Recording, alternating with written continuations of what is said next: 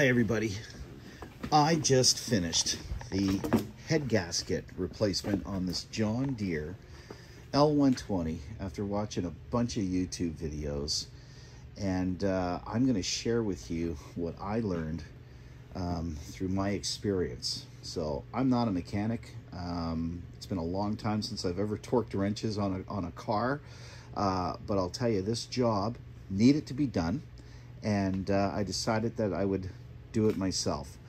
Uh, so what I'm going to share with you is not uh, what I did, you know what I did, but I'm going to show you how I prepared to set myself up for success doing this job, and I'm going to share that uh, knowledge with, with you guys. So uh, let's get started.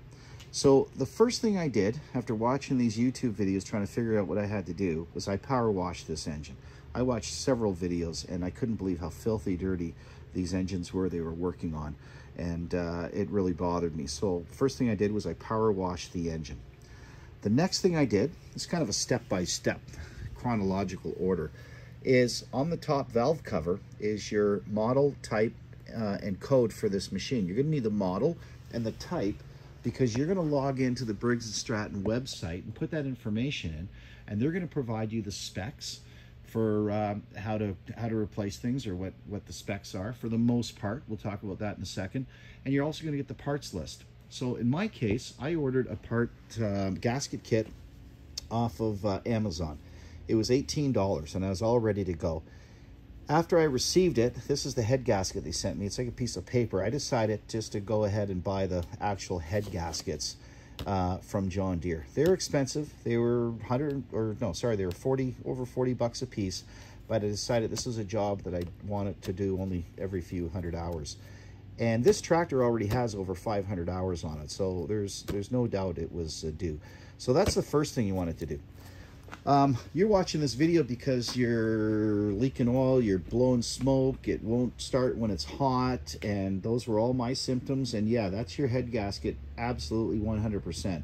So um, this is what I ended up doing to make my life easier. I systematically took this engine apart, and as I took it apart, I replaced, like for instance, the bolts. These bolts that hold the shroud or this this cover down, I just released them took it off and then put them back in place so I didn't have to remember where they were. Same thing with this guard. Took off these eight millimeter bolts, I think they were.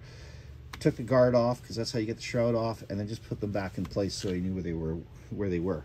The bolts that had to come out, like the intake um, uh, manifold and the exhaust manifold, I used this technique with this little box. And uh, I just put holes in it and marked what they were and then kept them all in place. Some of the other parts that came off, um, I either kept them in a magnetic tray, and you may see that if I upload the other video of me actually doing this job, or I just, uh, like the valve cover bolts, for instance, I just threw a earth magnet in the case, metal case with the bolts, and everything just stayed in place. I put everything in the box with the push rods, and I never lost anything. So I'm trying to show you a way that's going to save you a lot of time. So let's go through all the tools that I used and what you're going to need for this job.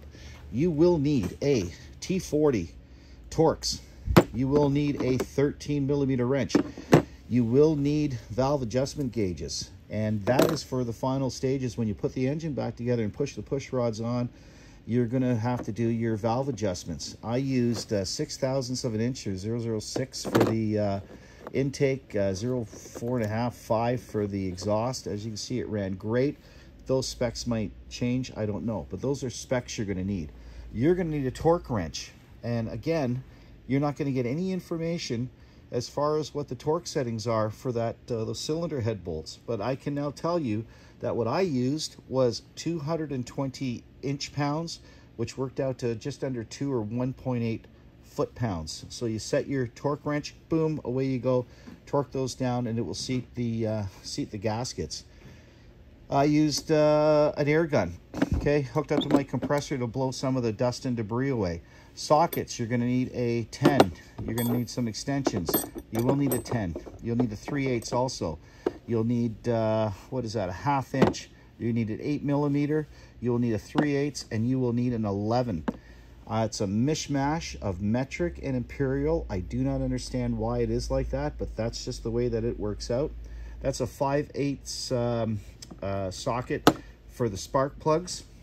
If you change them like I did, there is the, uh, there they are, RC12YC uh, spark plug, and you're gonna wanna gap them with those feeler gauges. And from the specs that you looked at from uh, Briggs & Stratton, it will say 0.3, so away you go.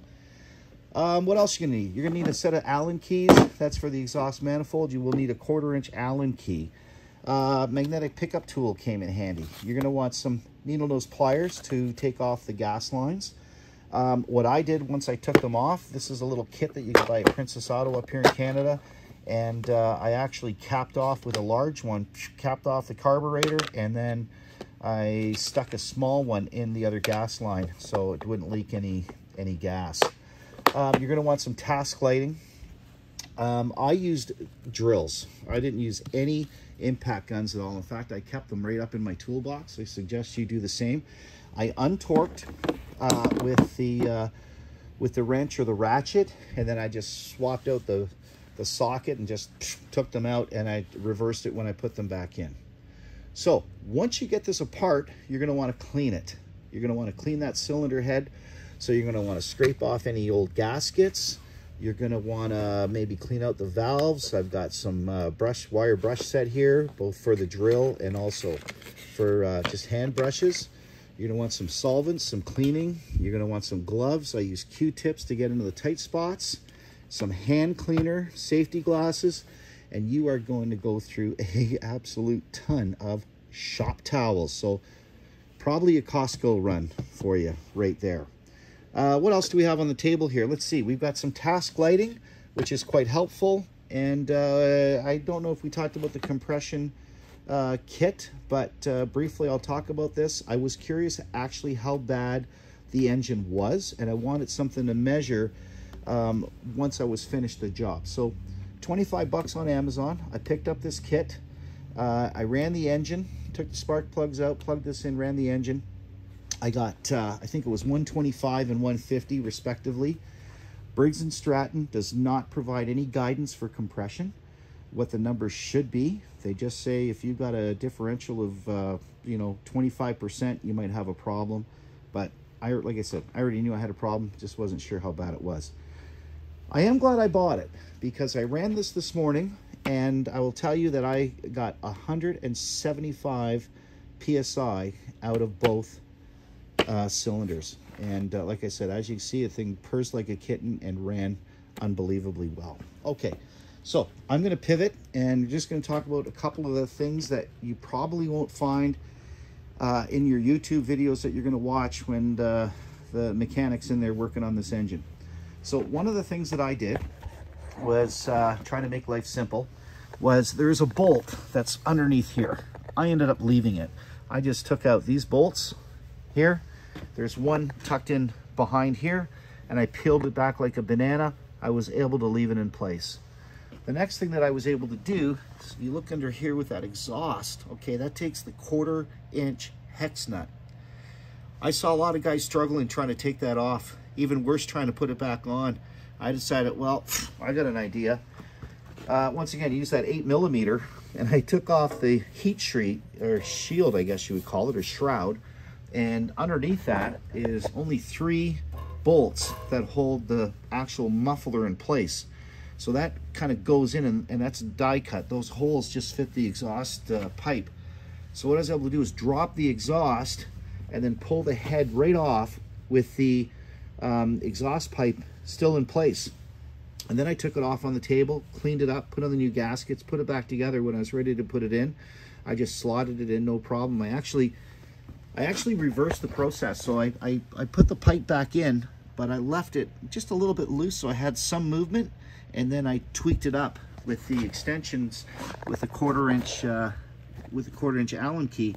And I was able to come up through this, this hole here to tighten it up. So there you go.